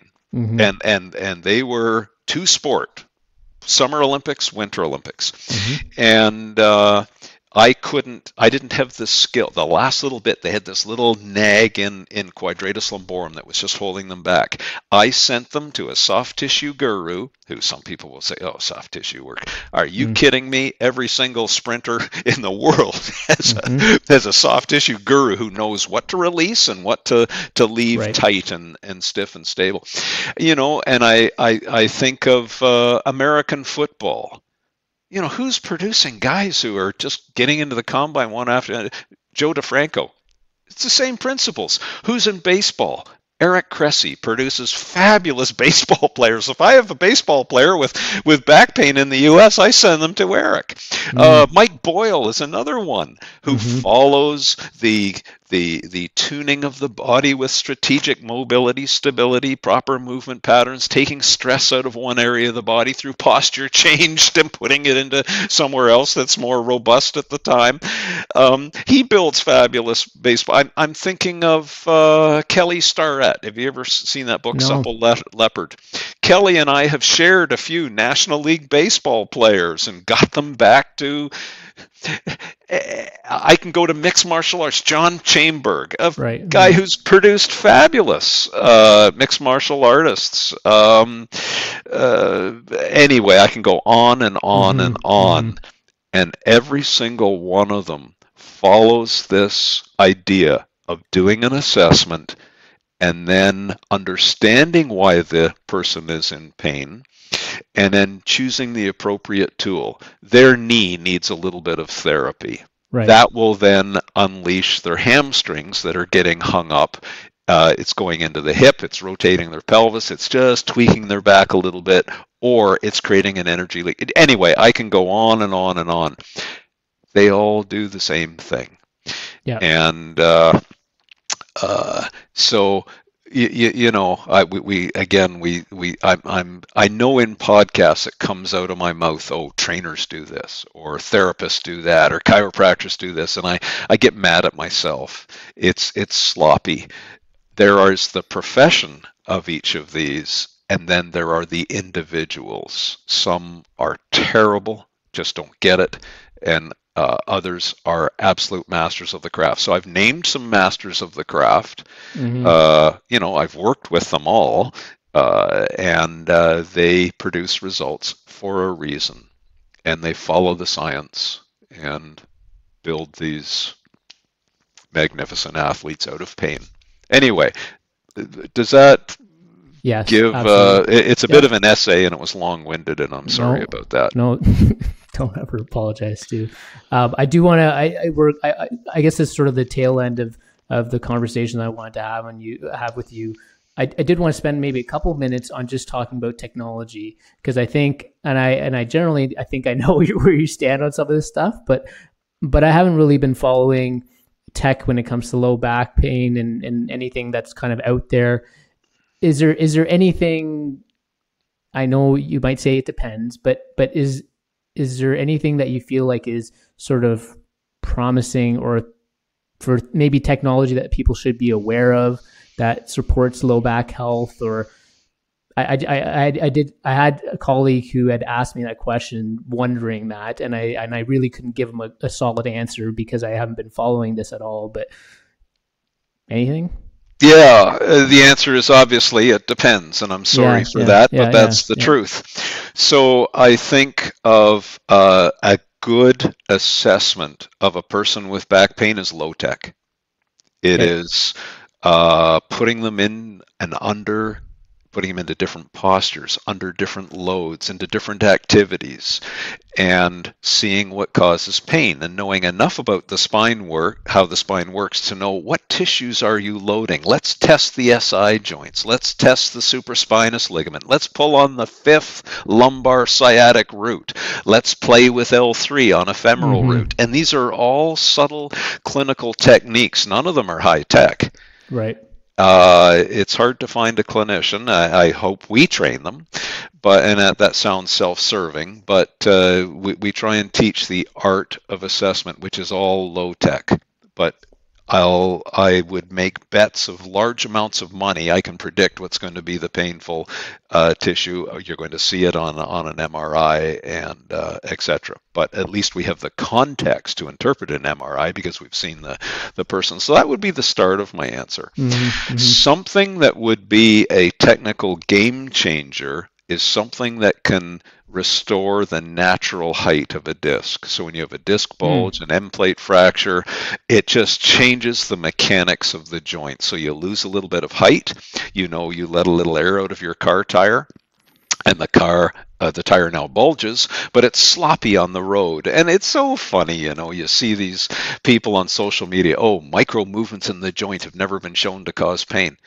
Are you kidding? We see it in every single person. You just mm-hmm. watch them mm-hmm. under video fluoro- fluoros- fluoroscopy, mm-hmm. and you'll see the micro movements uh, perfectly correlating with trigger triggering pain. And you, you see it in whiplash people who, oh, you've got no signs on your MRI of whiplash, you're a pain magnifier. Wait a second, watch the neck move under video fluoroscopy, and you'll see, oh, there is the little micro movement occurring right when the when the pain triggers. So if you could plump that disc back up again and give it what we call turgor and stiffness, mm-hmm. and really uh, change the loading of the facet joints, which they tend to go arthritic. Uh, the ligamentum flavum gets hypertrophied. A lot of negative things happen when you lose a bit right. of disc height. So that would be a game changer. And we've tried. I've tried to play with uh, artificial nucleus, uh, doing kyphoplasties, and all these kinds of things. Stem cells a thing? Can that help in oh, any way? Oh, well, I've not seen any evidence of stem cells into the nucleus of the disc. I don't know if there's enough uh, bioactivity in there okay. To, okay. to, to really. Yep. Uh, and and the game changer there is you've got to seal the end plate first. Mm. And I've tried to do that with bone cement and kyphoplasties and, and these okay. kinds of things, and we've always failed.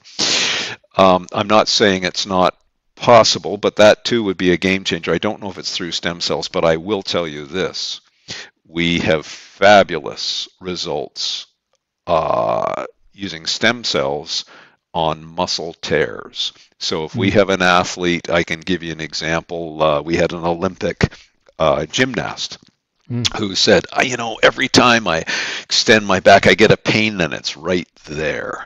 Mm-hmm. Okay, so we got out our Doppler ultrasound and I I put it over where the pain was. And when you know when a muscle contracts, it knits mm-hmm. together like this. This is how a muscle shortens. And then I said, do this. In other words, rapidly contract and relax the muscle. And you would see the muscle contract like this, except where the tear was, it would contract and then pull apart right at that level. Mm. So that was the t- contraction dynamic. So, you know, in those days, uh, if you need uh, needed a, a, surgical repair, I'd send him to Ray Brown in, in Montreal. He he he did all the NHL hockey players. You had a sportsman's hernia or a tear, an external or internal oblique. Ray Brown, fabulous guru. He had the hands right. to to do it. Now Ray's retired, and another person's taken over that. But anyway, getting back to the story. Now, what other tools do we have that's non-surgical? Because obviously Ray was the the last resort. Rest. Okay, can we get that muscle to rest? and uh, can we allow that knitting together with the fascia and muscle fibers? Um, Sometimes it was successful, but hold on now. We're into Olympic trials in three months. This is a big deal for that athlete. So we're mm-hmm. under a time pressure.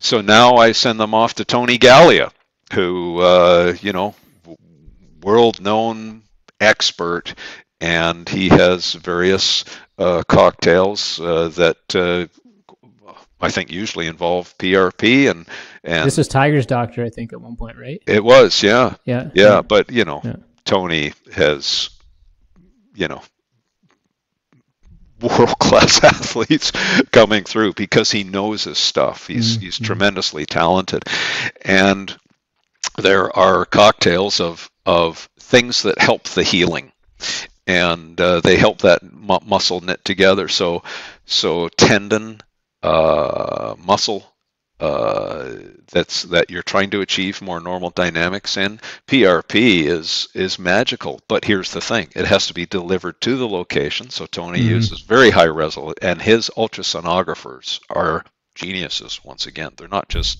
someone at the hospital.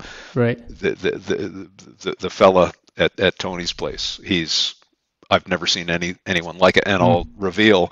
Uh, Tony uh, did my uh, clavic acromioclavicular joint two mm. two weeks ago. okay. okay. Uh, j- just uh, it, it, it, he's a master. So anyway, when you ask me that, uh, there you go. Stem cells yeah. inside the nucleus.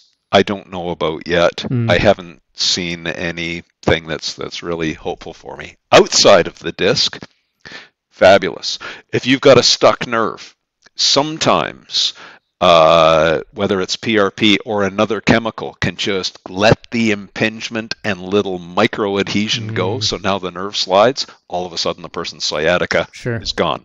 Yep. So, you know, there's a time and a place, but the expertise of the clinician who understands the precise cocktail and the precision of delivery paramount matters yeah it it it, it matters so uh, several lessons there the yeah. skill of the clinician matters a lot. And here's another thing on social media. Again, clinicians get painted as a group, which I'm guilty of myself. Oh, you know, physiatrists do do this. Sure, wait a yeah. wait a second. I know some fabulous yeah, physiatrists, yeah, and uh, so we're all uh, we're all guilty, and uh, all. Yeah. When uh, this year obviously has been really difficult for people with the pandemic, working from home. We know that prolonged sitting is obviously a major mechanism for pain. But you're also seeing shifts to people standing. I'm standing right now. I spend you know 80% of my workday standing um, i'm going to shift my sitting posture for you there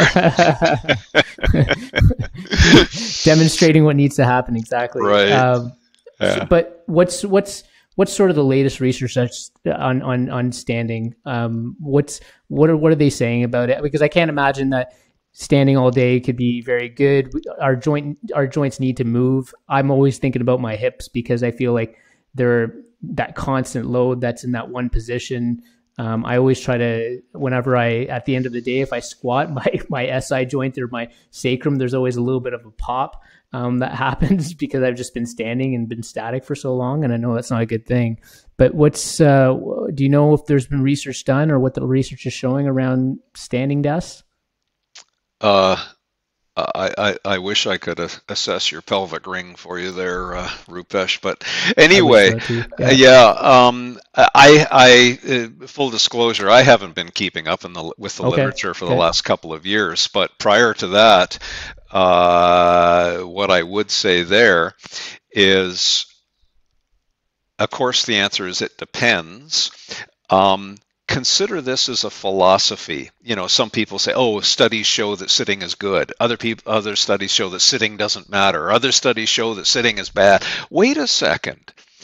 It depends. You've got to look at the cumulative exposure. And, you know, we we spent a mm-hmm. lot of mm-hmm. time mm-hmm. on that one uh, in the laboratory. So, if your job was to sit all day, sitting more is harmful.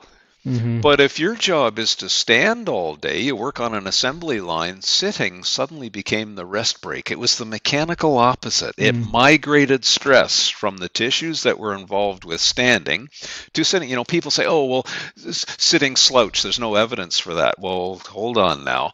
Um, if, if, if you have no pain triggers and you sit slouched for a while, that's not a bad thing to do. You just migrated the stress onto the disc and the ligaments. Now I'm going to sit upright. Well, if you sit upright on a stool for several hours, the muscles now become very achy because they are required to create a guy wire system to hold that posture. There's, mm-hmm. there's no load to speak of on the ligaments, but that's not the way to sit for a long period of time. So where where the science always was, and I don't think there's any change on this, it's context specific keep changing the supporting role of different tissues through posture change until there's a problem.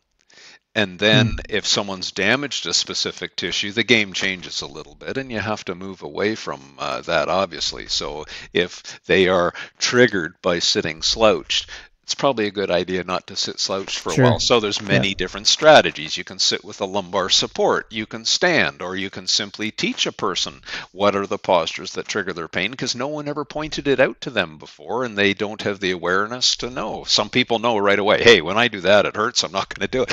But those aren't the people who end up going for therapy. They they're they're they're somehow have that innate savviness and and you know. yeah. Anyway, it, that's the summary of yeah. uh, the science. And uh, if you don't have an orthopedic problem, just keep changing your posture. Yeah. Uh. But uh, and if you stand a long time, sit. It's a therapy. Yeah. But if you sit all day, you better stand. That's the therapy. You you get what I uh, of course, mean. Of course. But but that's again, these people are so passionate on the internet. Oh, someone said this statement wait a second, what was the context that they said the statement in? And if you need a context to deliver information and you need a context to consume information. And that's where the disconnect is. Mm-hmm. Thanks for entertaining that question. I, I, do want to move on to just some final, maybe rapid fire questions, if I could. I, I feel like I, I feel I've only gotcha ones. I've only got a, I've only got a couple, anyways. So they're not. And Michelle always tells me she's like they're not really rapid fire. They're really sort of deep thinking. So I don't even maybe know how to do rapid fire questions. Uh, I, I, maybe at one point though, I, I feel like I do have to nerd out with you on high performance athletes because Stu, I can't let go of that stuff. Like it's it's I still think about how to train athletes. I can't let go of that that piece. So I would love to have a future conversation about uh, about that. But uh, I do want to move on because uh, well, that could be another one. That's uh, yeah, maybe as you know, yeah. that's uh, one of my uh, passions as well. To yeah, yeah it's not every day you get to drive an F1 race car. So when you're in our business, we get to drive an F1 equivalent in speed, strength, power, game. What a thrill! Yeah, game. Uh, yeah. What's the game? Game intelligence. Yeah. Situational yeah. IQ is what some of the coaches call it. Just yeah. those those are that are so coachable. Oh, it's fabulous. Uh, before we get into this rapid fire, I just want to make people aware of a couple of resources of Stu. So um, I'll, I will put these in the show notes for people. Uh, backfitpro.com is, is Stu's website. There's fantastic resources on there, a lot of evidence based uh, material. Stu's got his books and his DVDs. I got a couple in the back, which are a little outdated, Stu. I apologize. I haven't uh, bought your latest versions, but I suspect a lot of the wisdom, original wisdom, is still in your in your new material. Um, I do recommend uh, folks if they're experiencing back pain and they can't get to uh, one of Stu's master clinicians or they don't have access to that. Um, the, ba- the back mechanic book that Stu did is is fantastic. It's more on you know it's I think it's Stu and, and feel free to jump in, but my uh, my read of that was more of like it's more suited to the to the general public. And um, I don't know if you if there's anything you want to say on that particular book or. Only that it was that or... the most. It was easy for me to write my medical textbooks. That, that was my world it was the most difficult to write back mechanic really? with the audience being the lay public because it was a dan- well the original publisher said you have to have the title fix your back in three easy steps and i said well that's a lie i'm not doing it and they said good well you won't sell many many books and uh, uh, but i couldn't do it so i wrote hmm. 17 chapters it takes the person through a self-assessment of their pain triggers and then gives them movement hacks around the triggers to help avoid the cause. So that's spine hygiene, etc. And then shows them how to build a base foundation. Now, it's not going to take you to the Olympics, those are the other books.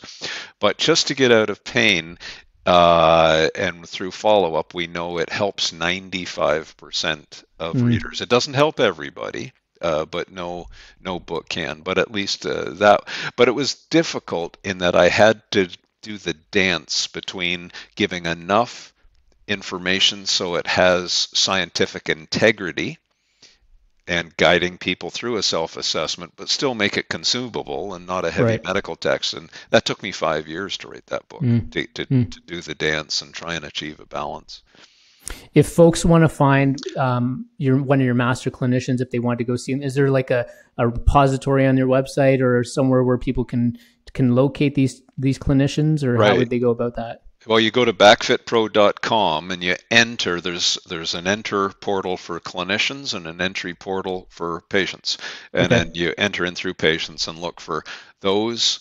Those are master clinicians. They're listed by country and who they are and their contact. And then we have those certified who I haven't worked with and I, I cannot vouch for their uh, efficacy. However, they've taken our courses and they've passed both a physical exam, working mm-hmm. on patients, plus uh, a written uh, exam. But I haven't worked with them personally. Those are the certified people. So there's uh, a few more. Fantastic. All right. So first, uh, first question here: Dead or alive? Who are the five people who you'd want to have a meal with? Uh, I've been asked variants of that question before, okay. And uh, so I guess my, my answer really doesn't change. Uh, the first one I would have to say is Muhammad Ali. Mm-hmm.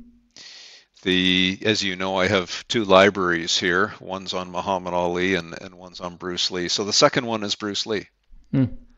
Uh, boy, there was a lot more to that man than most people uh, realize. Uh, the third one, and only because I've been interested in this Black Lives Matter social uh, movement, and Malcolm X. Hmm, I've listened to Malcolm X uh, speeches, and uh, he, he, was uh, very, very special too. I I, uh, I have problems with why he triggered reactions uh, because to me, he made so much sense. Well, I think uh, just to jump in there, we did an episode on on Hugh Hefner because he was somewhat surprising to us as someone who just was very transformative during his time, and he actually had Malcolm X on one of his Playboy interviews. And the, I, from my understanding, the challenge with Mal- Malcolm X is that, especially with Martin Luther King preaching sort of a nonviolence approach, Malcolm X was very much on the on the other side, and he was saying some really some things that were were very hard to hear at that time. Um, so very interesting that you'd have Malcolm X at your yeah your yeah no yeah. for sure I would yeah I yeah. I, I, I, would um, let me see now I I don't want to sound well I'll just say it Jesus there, there's okay. there, there's there's someone else and the last one might not surprise you uh, it would be my father hmm. uh, who uh, didn't live very long and uh, I'd like them to know that uh, maybe I turned out s- somewhat okay. Thanks, dude. Thanks for sharing that. Um, and the last question is what is something in life beyond we know the circle of life exists? What's something beyond something in life that you know for sure? One part of me wants to say nothing. And uh, another part would be more of a humanist answer, and that would be the same answer that I mentioned to you earlier about our business of seeing people in pain and attracting uh, people who others look up to mm. as business leaders, sportsmen, world leaders, etc. And at the end of the day, you realize they're just people, but people stripped down to their base because of pain. Mm. So I I know people are people. Yeah. Thank you, Stu. I, I um, it goes without saying, but uh, appreciate you as a person. Appreciate the time that you've given me today appreciate that you're willing to have a conversation about something that maybe you're not always comfortable with. Uh, I think I have no doubt that people would have benefited from this conversation. Hope to do this again. And just again, thank you for taking time on a Sunday, uh, which I, I, suspect is uh, precious to you. So, so thank you for that. Thanks, Rupesh. Um, you know, at this stage of my uh, career, I can go back and and look at those uh, students who uh, I feel so good about. And if I can have a, well, uh, these conversations that we're having today, it takes me back to those days of having our beers and peanuts. And anyway, you, you still give me great joy as you always have done. Thanks so much. Appreciate it, Stu. Take care. Bye bye. Bye.